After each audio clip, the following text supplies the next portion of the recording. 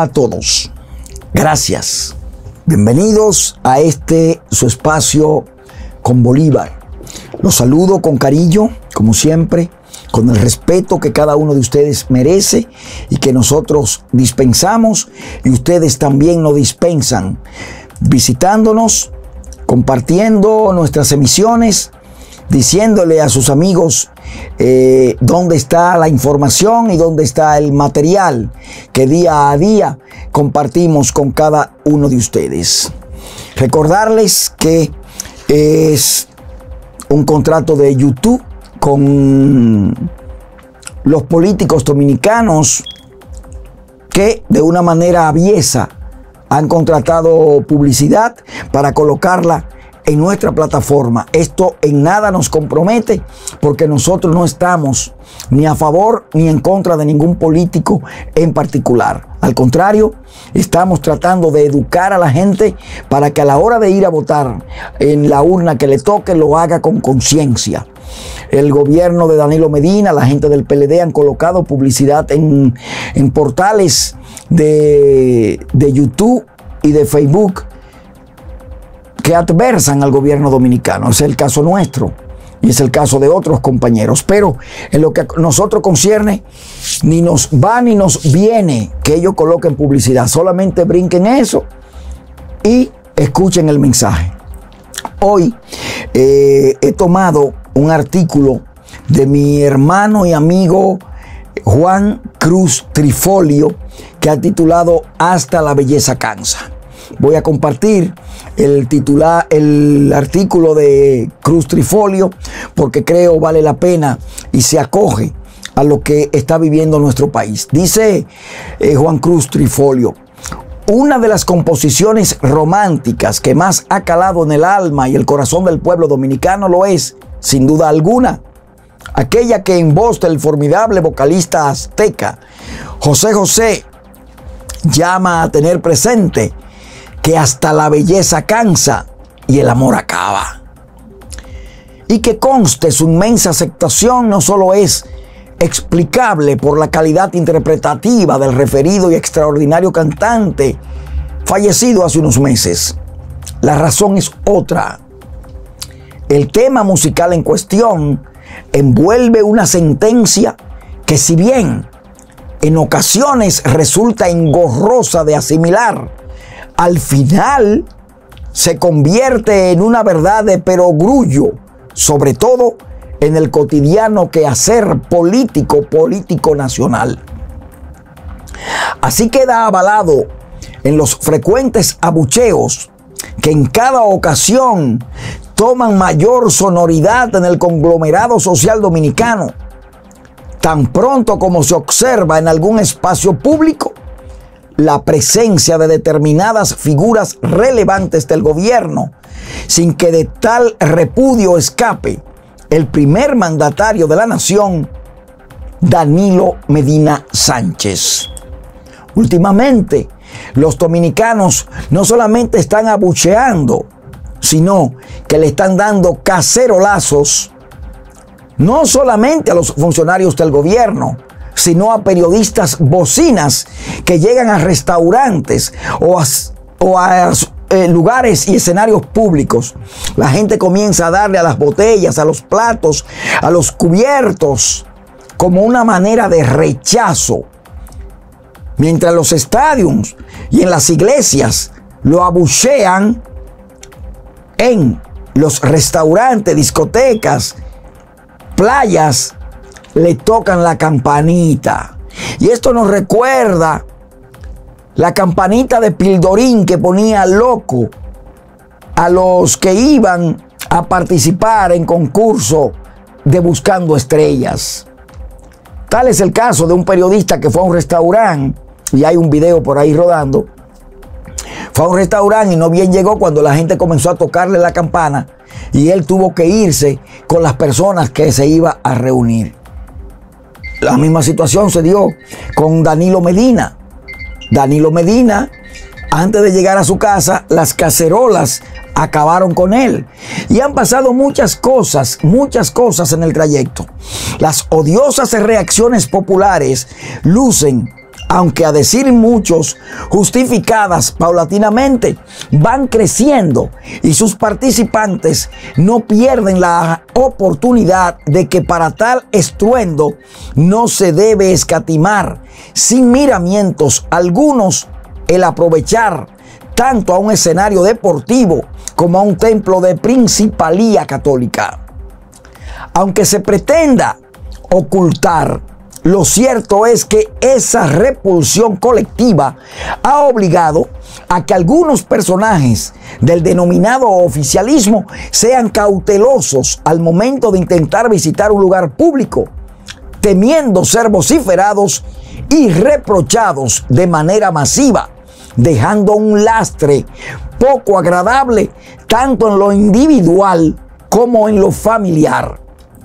Se trata de masivos abucheos que curiosamente llaman la atención, entre otras razones, por estar dirigidos a despreciar el comportamiento ético, moral y social de funcionarios gubernamentales no obstante, algunos de ellos van a gloriarse, cacareando a través de los principales medios informativos que forman parte de un equilibrio político administrativo que a viva voz asegura que la República Dominicana es el país de América Latina y el Caribe que goza de un envidiable clima de estabilidad económica, social y política.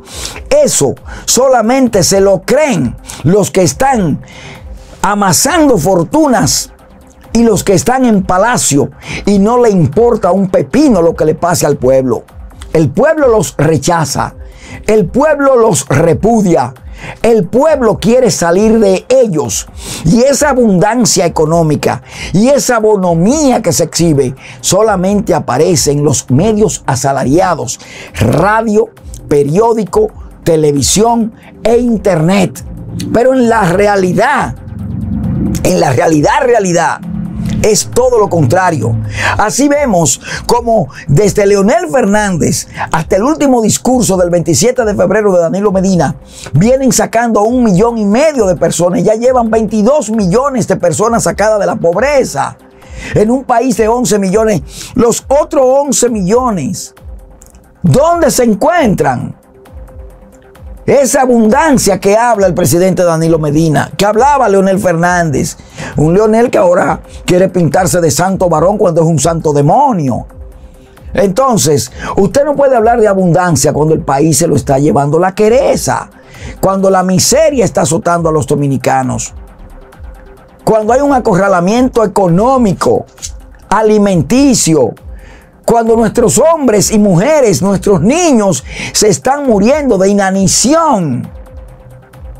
O sea, usted no puede estar vendiendo sueños y vendiendo humos en un tiempo que el mundo cambió, presidente Medina. Y lo mismo los medios. Anda rodando un video también ahí de, de Eury Cabral, donde él dice de los errores cometidos por Danilo y el gobierno. Y cuando usted escucha a un trepaburras como el cura sin el, pastorcillo sin iglesia, ¿eh? el hijo de, de, de Manmón, ese Eury Cabral que está en el valle de huesos secos, usted lo escucha hablar. Lo que ha dicho de Danilo Medina, usted se da cuenta que ya están fritos. Que ya están fritos. Y tal vez por esa razón, Juan Cruz Trifolio escribe precisamente ese artículo, Hasta la belleza cansa. Son los mismos que oronda y cotidianamente cantaletean la existencia de un crecimiento económico paradigmático, pero que no luce frenar la deuda pública y externa, ni tampoco reducir de manera significativa la pobreza de la mayoría y el empobrecimiento de los miembros de la denominada clase media, entre otros flagelos. De esta manera, subsistimos y con tal rebeldía social, quiérase o no ocultar, lo cierto es que se ha puesto de manifiesto que la pava ya no pone donde ponía y el tiempo de creer en cuentos chinos forma parte del pasado, aún parezca existir la pretensión de reducir el impacto de la reacción colectiva en cuestión, utilizando a especímenes del galloloquismo a sueldos en diversos medios audiovisuales. Tratar de ocultar esa realidad en una sociedad donde cada vez se acentúa el dominio de los medios cibernéticos y plurales es una quimera que solo sirve para embriagar a quienes ante la realidad nacional procuran permanecer como el avestruz con su cabeza sumergida en el infértil pétreo terreno. Pretender encubrir los efectos de estos reclamos pueblerinos, alegando que en un pasado reciente también se registraron, es una actitud desacertada, puesto que asimismo es cierto que nunca como ahora se habían producido con tanta insistencia y fervor abucheos, cacerolazos tomados de la historia de Venezuela y más que eso, el trinar de las botellas y de los cubiertos en los restaurantes. Es la mejor muestra de que el pueblo no los quiere, de que los números no le darán, de que como dijo el presidente Balaguer, son como el rábano. Rojo por fuera, blanco por dentro, cuando le dieron la sonada al presidente en las elecciones del 78 y que parece se van a repetir ahora. Danilo Medina está consciente que fue un error dejar ir a Leonel Fernández. Danilo Medina está consciente que fue un error escoger al penco. Danilo Medina está consciente que fue un error seguir con Margarita sabiéndose que la constitución le impide eso. Pero tampoco la oposición ha dicho que Margarita no puede seguir. Porque que son bandidos. Bandidos todos. Bandido Abinader, bandido eh, Hipólito, bandido eh, Antún, bandido Guillermo Moreno, bandidos. Pero no todo tipo de bandidos. Bandidos pestilentes, aguafiestas y mantequillosos. Dígase cuanto se quiera expresar. Estos abucheos y estos cacerolazos a escala superior, unidos al engreimiento y a la prepotencia de ciertos funcionarios aparentemente insustituibles, terminarán enterrando en el peor rincón de la historia a una gestión de gobierno y a un partido digno de mejor suerte. En pocas palabras, esta modalidad de repudio colectivo es innegablemente la ratificación de lo expresado por el denominado príncipe de la canción, José José, al invitarnos a través del canto romántico y popular a no olvidar que hasta la belleza cansa y el amor acaba. Y que, aún se crea lo contrario, nada es para siempre. Y ya lo veremos. Un amigo nos recuerda que existen funcionarios que no van al play, ni aunque les regalen la boleta en preferencia, y que al mandatario que repudian es el mismo que en algunos califican como el presidente con mayor tasa de aceptación y popularidad en el país y la región de Latinoamérica. La vergüenza que este grupo le ha hecho pasar al profesor Juan Bosch en el contexto histórico la están pagando con creces. Y es que el pueblo no lo quiere. El pueblo se cansó del PLD. El pueblo se cansó de Danilo Medina. El pueblo se cansó de Leonel. El pueblo se cansó de Hipólito. El pueblo se está cansando de Abinader que no prende. El pueblo se cansó de lo mismo, del robo, del atraco a mano armada desde el poder, de que le lleven la luz y se la cobren sin dar el servicio, eso también es robo. De que le aumenten los pasaportes, de que le hagan la vida imposible para conseguir un pasaporte. O de que sucedan acontecimientos como lo que pasan en Nueva York y en cualquier parte del mundo donde hay un dominicano que viaja a la República Dominicana, que tiene que pagar impuestos por encima de lo que establecen todas las reglas porque el gobierno se queda con más impuestos que lo que cuesta el ticket de avión para abordar cualquier aeronave. Y eso también es robo y que encima de eso también se nos aplica un impuesto al llegar y al salir al país. Eso también es robo, apadrinado por Danilo Medina y por la cúpula mafiosa del PLD. Es robo cuando usted nombra a sus hijos, su sobrino, su amante, su querida, ¿eh? su amante macho y su amante eh, y su querido macho, y lo nombra con 50, 60, 70, 80, 100 mil y hasta 200 mil pesos.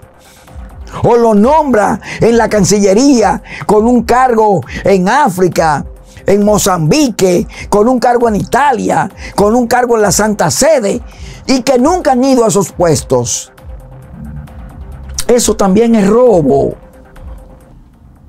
¿Cómo es robo?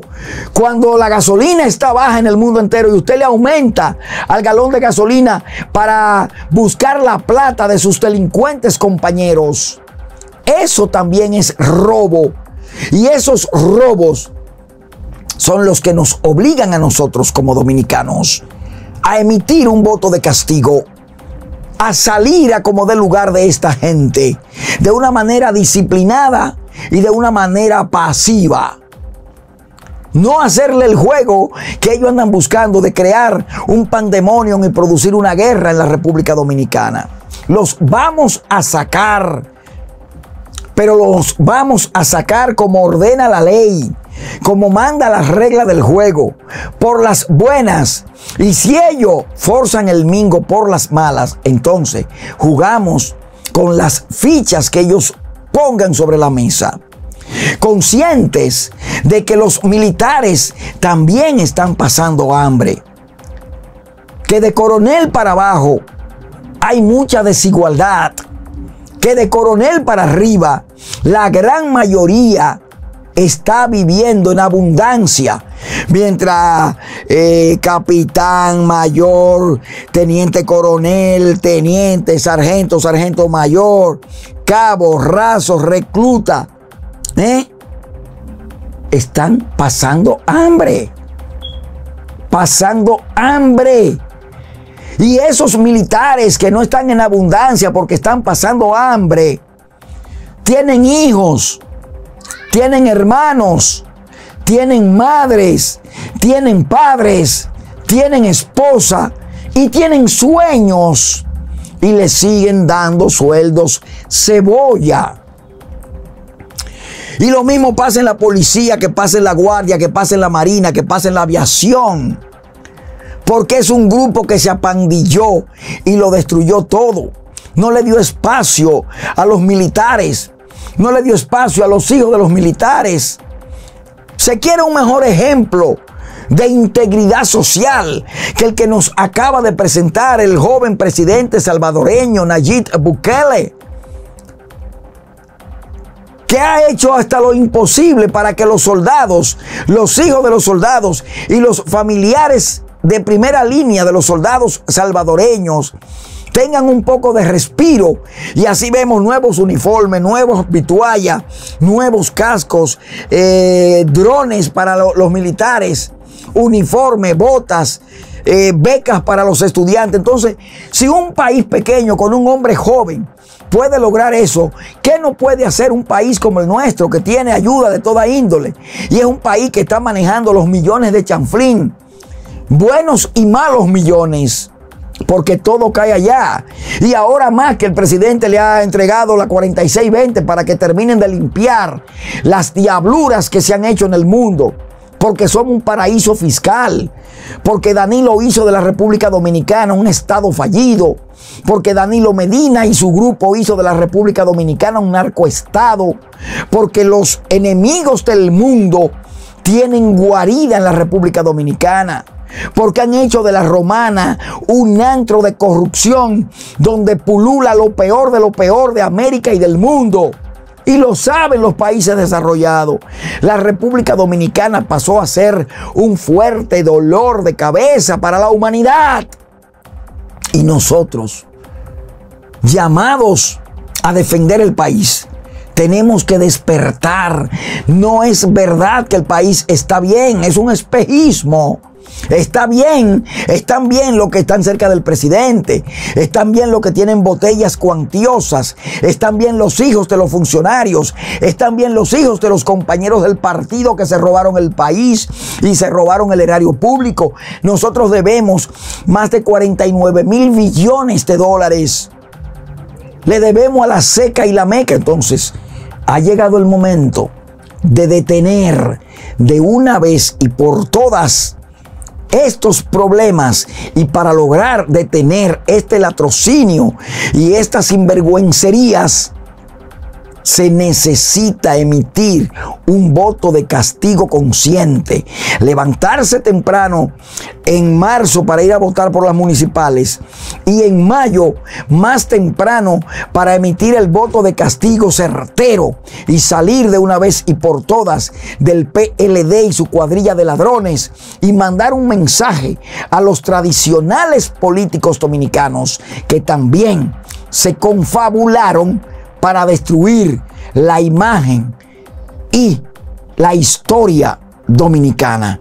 Tiempo pues de pensar en grande, no pensar en pajaritos preñados, pensar que tenemos que sacudir el país, que tenemos que rescatar el país, que tenemos que recomponer el país y tenemos que quitarle toda esa sarna malévola que llegó con Hipólito Mejía y se extiende hasta hoy con Danilo Medina Sánchez tiempo de cambio, tiempo de voto de castigo, tiempo de seriedad, tiempo de conciencia y tiempo de decirle al gobierno y a los ladrones del PLD, basta ya, se van porque se van. Gracias, gracias por todo. Un abrazo sincero, cariñoso. No se olviden de compartir esta emisión, de darle a la campanita para recibir las notificaciones y de darle a seguir. Y sobre todo, que quien no nos vea, usted le diga, te mando este link para que vea lo que es un programa abierto, sincero y donde se dice la verdad que tenemos que saber. Dios con todos, se me cuidan y hasta nuestro próximo encuentro amigos en este mismo canal. Hasta entonces, bye bye.